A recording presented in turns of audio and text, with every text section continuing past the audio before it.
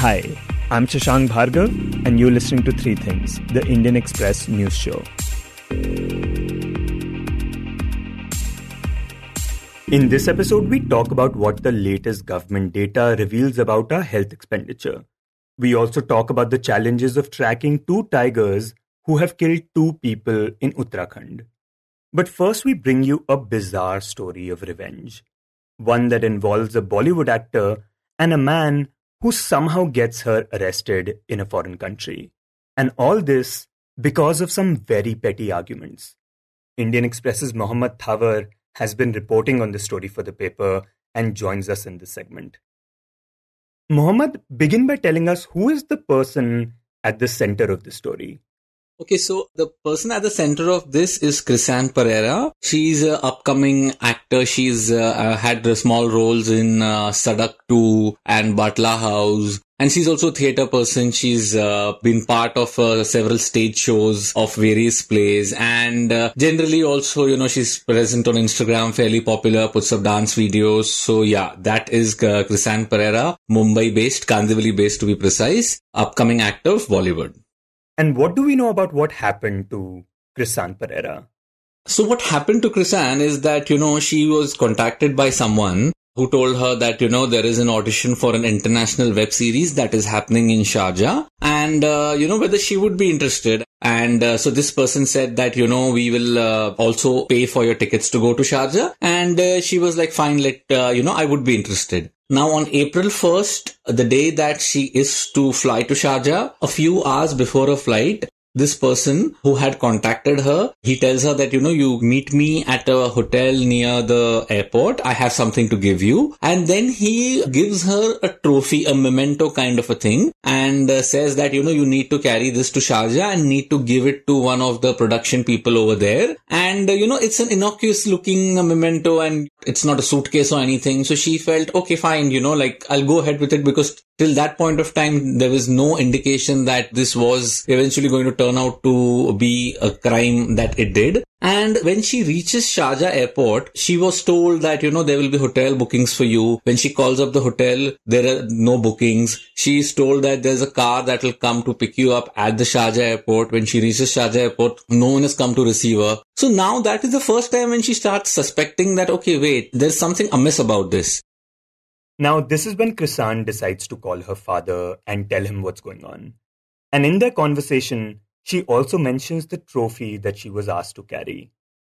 Now that raised alarm bells and her father realized that wait, this is something doesn't sound too proper. So he told her that, you know what, you take the trophy to the airport authorities, to the airport police and give it to them so that, you know, if there is anything wrong, you are not caught up in it. Now, unfortunately for her, what happens is when she goes to the airport police and uh, gives the trophy, they open up the trophy and at the base of it, like there's this very small place where they find, you know, some nine grams of ganja and uh, the khaskhas, which is opium, which is again not allowed in the Gulf countries. And since they find her in possession of the narcotics, she is detained and eventually arrested on charges of narcotics. Wait, so even though she was the one who went to the UAE police with the trophy, and told them that something might be amiss, instead of investigating the matter, they arrest her instead? Yeah, that is the odd part because in fact she had left the airport premises, but she still came back and showed it to them. But because they found narcotics and you know in UAE like in many Islamic countries laws related to drugs are very stringent so because this thing was in her possession and they found drugs in it, they were not sure what to do with it. But then because it was in her possession, they go ahead and arrest her. So as per law, strictly speaking, it is in her possession. But I mean, it, the surprising bit is that she herself went to them with it. So that is indeed odd that she is arrested in spite of the fact that she is taking the trophy to them rather than it being found uh, while them searching her. After Chrisann is put in jail, her parents start figuring out what they need to do. They initially struggle because they don't know the person who had contacted her. They then get in touch with the Ministry of External Affairs, they contact the media, and also go to the Mumbai police. Later, when the authorities start investigating the matter, they find one person who was regularly in touch with the man who had told Chrisann about the audition in Sharjah. This man was Anthony Paul and they tell this family that, you know, do you know any such person? Because this person seems to have called up on the number used by the other person quite frequently. And then the family realizes that, okay, this Anthony Paul his sister resides in the same building as the Pereiras do. And in the past, Chrisann's mother has had fights with Anthony Paul. And when I say fights, I mean just arguments. Like there were two occasions. Once during COVID, her mother Premila had shouted at Anthony for not wearing a mask and not following COVID protocol. And once when uh, Anthony had some objections with them feeding a local dog. So, you know, there were these small altercations, uh, not even altercations, small arguments that they had. And that's when they informed the police that, yes, we know this person and we've also had a fight with this person. Though Mohamed says that at that time, it seemed too small a reason for him to do this. But turns out that this was true. Anthony was the one who got someone to get in touch with Chrisann and got the drugs planted in a trophy so that she gets arrested in a foreign country where laws against drugs are very strict. And all this because of arguments over wearing masks and the neighborhood dogs. Yeah, that is uh, something that really stood out as odd for the police, for Chrisann's family, because, you know, this was something that, I mean, these fights were not major fights, and the family had even forgotten about it. In fact, uh, you know, her mother has told us that after that they had passed each other and they had smiled and, you know, so she thought that this was not something, you know, a fight that was being carried forward. They thought that, okay, this is done now. I mean, it was a small thing. So for a person to hold on to a grudge for such a small thing, then plan out, you need to remember that he has paid for the Sharjah tickets. So what cops are saying is that he's at least spent some 30 to 40,000 to plot this entire thing, to source the narcotics, to have someone call her up, and he's researched everything because when the other person calls up Chrisann and tells her about an audition, she has some questions. So he has researched about how the industry functions, what is the name of the show, who's the director. So he's, you know, invested time and money to elaborately plan this entire alleged revenge. And that was something quite odd and everyone involved till the time they saw a pattern. And the pattern is that Anthony has actually done this with four other people. And he managed to do this with the help of someone named Rajesh Borate, who got in touch with these people for him. And again, all of this for extremely petty reasons. So, for example, in January, there was this woman called Monisha de Mello. Now, a relative of Monisha had broken up with Anthony and he was very upset. And in order to get back at Monisha's cousin, he, you know, looked around who are the family members involved zeroed in on Monisha, knew that she is into uh, dress designing. Then he makes Borate approach her as somebody who has a big order for, you know, dresses in Sharjah. In this case too, similar pattern. He pays for the Sharjah trip. He gave her a memento. But in her case, she kind of uh, realized that there was something amiss about it. And you know, generally people, when they are traveling abroad, you are hesitant to take things from people while you're flying. So some of these victims managed to save themselves by either dumping that in the garbage bin outside the airport or in one case this man called Rishikesh, he outrightly refused to take a cake that Borate gave him. But not everyone was so lucky. Chrisann, for example, ended up spending 26 days in jail before she finally managed to get bail, though she is still not allowed to leave the country. But a man named Clayton Rodriguez is still in a Sharjah jail since February.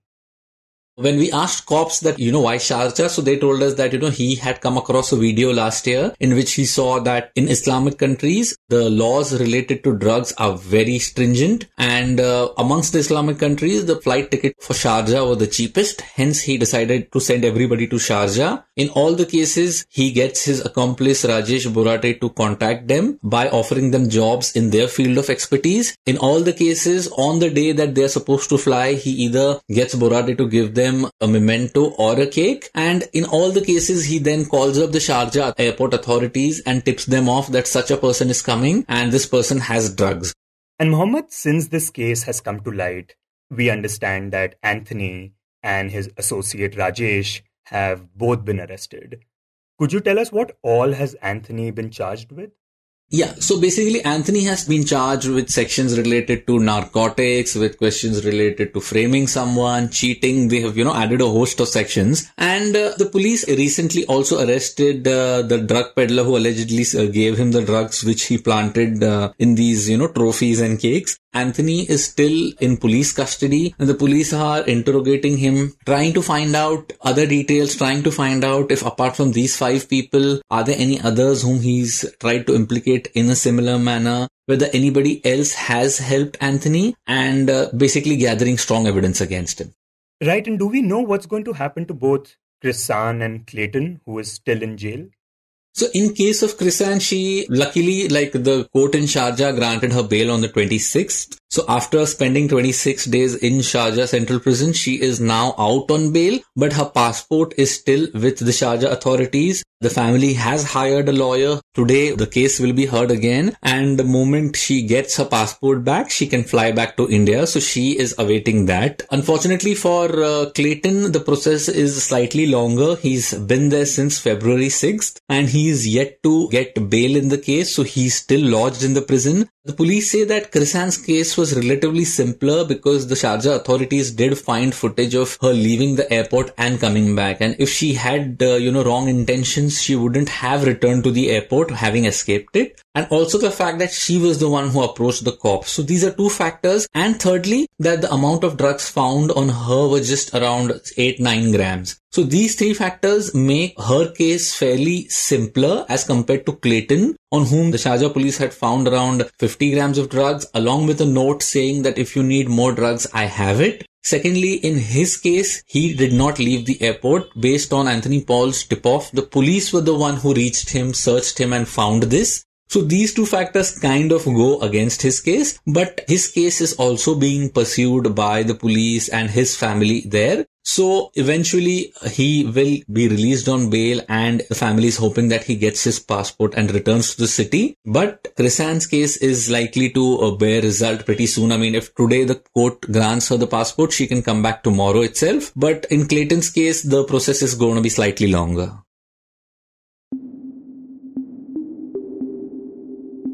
And next we talk about India's health expenditure. Last week, India released its latest national health account estimates, a report that shows how much the government and we as individuals have spent on health. Now, although this is the latest report that we are talking about, its data is from April 2019 to March 2020. And this period shows us some important trends in healthcare. To know more about the report and what the data reveals, my colleague Utsa Sarmin speaks to Indian Express's Anonna Dutt. So, Anonna, can you first tell us what the National Health Account Estimates are? So, National Health Account Estimates is a report that the government has been coming out for, I think, six, seven years. And it basically estimates the spending that has happened in the entire year for healthcare whether it's from the government, whether from people, from insurance payers, all these modes of payment. And they look at what is this money spent on? Is it on primary care, secondary care, tertiary care, medicines, diagnostics? So it basically gives the entire uh, money inflow and outflow in the healthcare system in the country for the year. Okay, and today we're talking about the latest report which talks about the period just before the pandemic, which was 2019 to 2020. And before we talk about its details, can you tell us why we don't have the data for the last two, three years instead? So this sort of consolidated report, first of all, wasn't there till just a few years ago. Then after they started this exercise also, it took some time to standardize all the methodology. There were changes done in the initial period. So now, of course, there is a set format. But it takes time to do all this. First of all, the financial year has to end. After that, they will start looking at the data and then compiling the data from states because a lot of the spending happens from state governments as well, health being the state subject. So collating this data from all these different sources, it takes time. So you have written that there were four major findings in the report. What is the first one that stands out for you?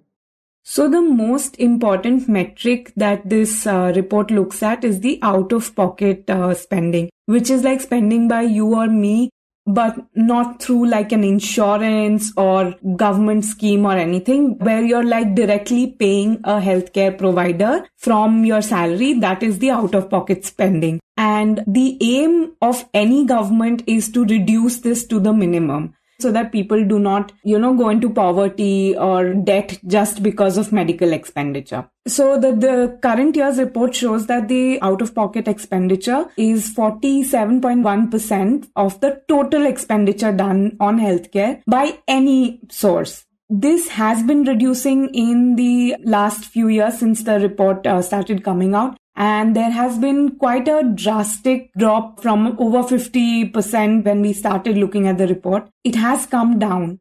Okay, so out of pocket spending coming down seems to be a good thing. But do we know why that has happened?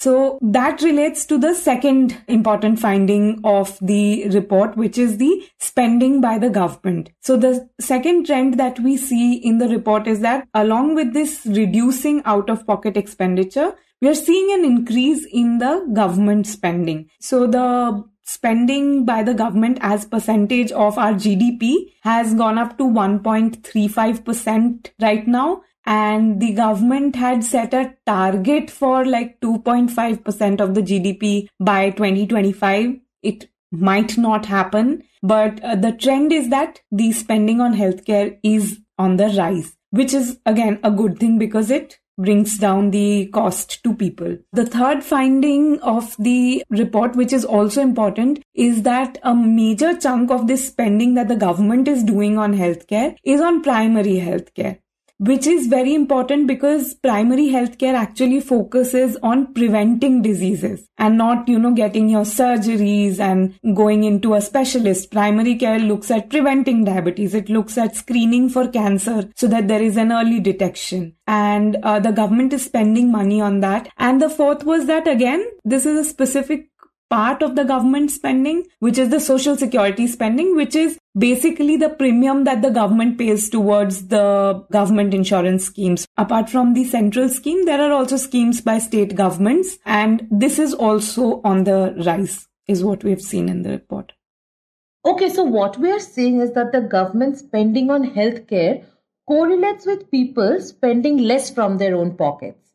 But some of the experts that you have spoken to actually raised some concerns regarding this. Could you tell us what they told you?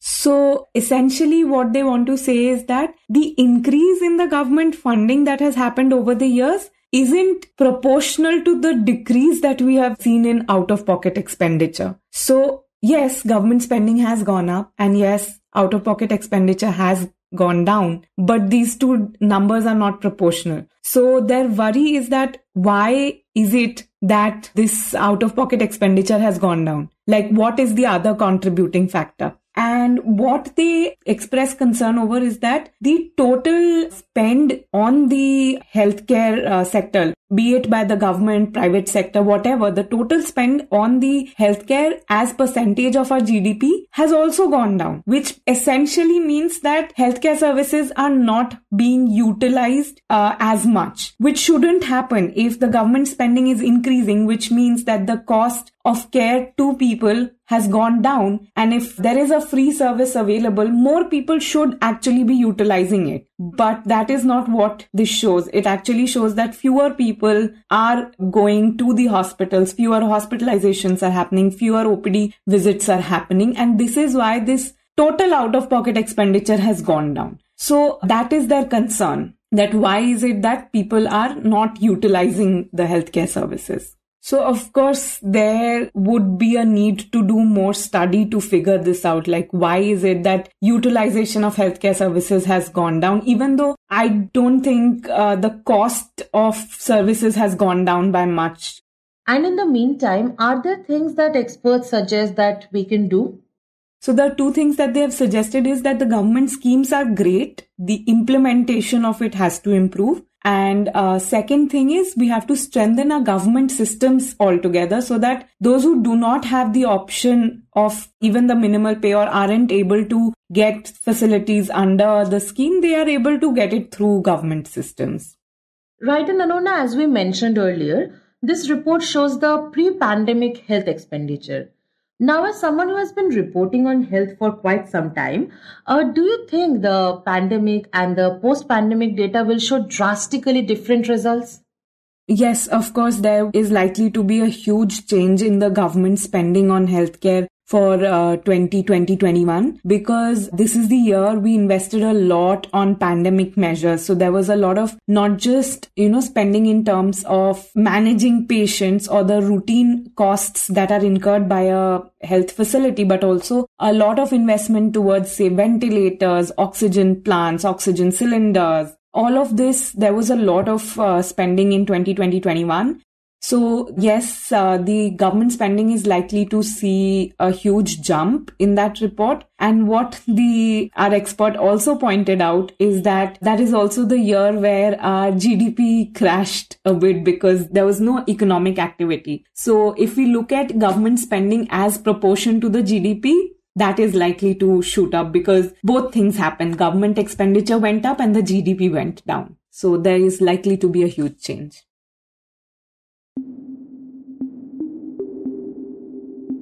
And in the end, we talk about the tracking of two tigers. For the last few weeks, the residents of two villages in Uttarakhand, Dalla and Simli, have been terrorized by two tigers that are said to have ventured out of the Jim Corbett National Park. Now, within a span of two days, the tigers managed to kill two people in the area. And since then, the Forest Department officials have been faced with the terrifying task of capturing these two tigers. And while they were eventually able to catch one of them, the other still remains at large. In this segment, Indian Express's Avaneesh Mishra, who got to accompany the Forest Department officials, talks to my colleague Rahel Philipose about the challenges that they faced and what the villagers have been going through. So, Avaneesh, how did this tiger menace in these two villages begin? When I was talking to the villagers in uh, Dalla village, which is in Rikhni Khal Tehsil area of Pauri Garhwal district, they told me that uh, they first saw the tiger on the 11th of April. However, the actual conflict started two days later on the 13th when uh, the tiger first attacked the cow and uh, because it was afternoon time around 3 pm around a dozen villagers uh, they gathered and they tried to chase the tiger away this was not a very new thing for the locals because the village is kind of uh, isolated and it's near the hill areas. It's also around 10 to 12 kilometers from uh, the Jim Corbett National Park. So wild animals was not a very uh, new thing for them. But obviously, tiger is not that common because generally the tigers do not enter human habitats. They refrain from coming out from the forest area. So yeah, after the villagers uh, tried to chase the tiger away, just a few minutes later, they came to know that uh, the tiger had attacked uh, one of the locals it was a 65 year old uh, Viren Singh Rawat, and uh, the tiger grabbed him by the neck and uh, kind of took him uphill around uh, 30 to 40 meters. I mean, the tiger was in front of the locals for around 90 minutes, and for 90 minutes, uh, they were trying to kind of scare the tiger. They built a fire, they throw mashals at the tiger, and once the tiger left the body, they brought the body back, but uh, he was long dead by then and uh, from there there was frequent sightings and uh, two days later on 15th there was another attack around uh, more than 20 kilometers in simli village which is in dhumakot tehsil area. That village is also borders with the jim corbett national park. And uh, that was a separate incident. In that incident also a 75 year old man was killed because his house was very close to the forest area. And uh, he was killed in a very similar fashion Right. So at the time of these attacks, did the forest officials think that the same tiger was responsible for both deaths? I mean, at this point, uh, we are pretty sure that both the incidents were from different tigers because at this point we have photographs and everything. But initially, it was highly possible that they were different tigers because tigers can travel up to 35 kilometers in a single day. But it was highly unlikely that a tiger would attack someone on the 13th and then two days later the same tiger would attack someone around more than 20 kilometers and then come back because the tigers were sighted in Dalla village where the first incident took place. So it was highly unlikely and to confirm that uh, the teams collected samples from both the places and they were lucky to get saliva samples from both the spots where the killing happened and they sent the sample to Hyderabad for testing. I'm not sure if the DNA result is out or not, but even without the DNA result, because we have photographs and everything at this point, we are sure that that was a different tiger. The tiger in the second case was much older and in the first case in Dalla village, we came to know that uh, earlier it was assumed that uh, it was a mother son duo but uh, one of the tigers, the bigger tiger, was caught and uh, the tiger was a male, 1.5 years old. So at this point, we know both the tigers were different and uh, the tigers in the first case were brothers. Right, and Avaneesh, these forest department officials had to carry out a pretty terrifying task, right? Like that of catching these two tigers. How did they actually plan to do it? So the problem in this particular case, the attempt to capture the tiger in Dalla was that generally the teams are able to bring their equipments, they are able to bring vehicles and everything to that place. But this particular village was in the hills and there was no uh, proper road to reach there. So bringing a vehicle or a jeep was not a possibility. In fact, I remember uh, so there was a three ton cage which was to be used to capture the tiger, and uh, it was really tough to bring that cage to Dalla village because it was a trek of three kilometers. So in Dalla, initially the teams tried to uh, capture the tiger by luring the tiger into a cage. A goat was initially used as a bait, and uh, there were some incidents where uh, the tiger came very close to the bait and the cage, but somehow it did not enter inside. So there was a possibility. I mean, the forest department teams were speculating that the tiger was probably looking for a larger prey, and that is why he was not interested in the goat initially. And because of that, uh, he was attacking cattle, cows, and buffaloes and bulls in one incident, the tigers attacked a bull, and for two days, the bull was kind of roaming here and there with, with injuries on his body. And after two days, he was dead. And that bull was also used as a bait, but that was also not very successful. So, after these failed attempts, the teams decided to tranquilize the tigers and they set up a machan in the field near Dalla village. But uh, that also was not very successful because uh, for a dart gun to be used, the tiger has to be within 30 meters of range. Right. And they were eventually able to capture and tranquilize one of the tigers, right? So, how did that happen? So, after four or five days of camping in Dalla village, the tiger left that village probably because of regular movements of the teams and everything. So, the tigers might have got scared and they shifted to another village which was around 13 kilometers from there. So for two days, the team set up camp over there. And later on, I think it was on Thursday when there was a sighting in nearby Jui village. And because uh, Jui village has uh, much more houses and it's in a kind of a plainer area, they were able to bring some jeeps and vehicles and they were following one of the tigers and hiding behind one of the houses. Uh, one of the veterinary doctors was able to tranquilize the tiger. As of now, uh, one of the tigers, and this was the bigger tiger of age 1.5 years so this tiger is caught. And because one of the tigers is caught now it's going to be much easier for the team. Because earlier they were scared that if they try to chase the first tiger the second might attack from behind. So now that is not a possibility. So it's expected to be much easier for them to catch the other tiger. But as of now the second tiger is still on loose in a nearby Dalla village. And how have the locals in these two villages been reacting to these developments so seeing wild animals is not a very new thing. But most of the time, these wild animals include leopards or boar or bear or snakes but tiger is a new thing for them. So it was terrifying. And uh, after the curfew was imposed, people were not coming out in the night. And another important thing to notice is that this happens mostly in hill areas. And uh, the thing is, in hills, there are not many job opportunities. So the youngsters and the male members of the family, they generally leave the place and go to plain areas for their studies or their jobs. So in these villages, the people who are living are mostly women, children, or elders. So obviously it's much harder for them. And uh, even though most of the families did have ration for a few weeks, the main problem was uh, getting fodder for the cattle because generally these people go to the forest areas to like bring leaves or grass or anything for their cows and buffaloes and other cattle but after this incident it was not possible. So people were uh, kind of locked inside their houses. Even in daytime they were not uh, able to go out in a group of less than 4 5 people. So yeah definitely that was very much problematic. There was fear. People were scared. They were not uh, able to get items of their daily need. So it was uh, definitely uh, problematic you were listening to Three Things by The Indian Express. Today's show was edited and mixed by Suresh Pawar and produced by Utsa Sarmin, Rahel Philipose, and me, Shashank Bhargav. If you like the show, then do subscribe to us wherever you get your podcasts. You can also recommend the show to someone you think will like it, share it with a friend or someone in your family. It's the best way for people to get to know about us. You can also tweet us at Express Audio and write to us at podcast at indianexpress.com.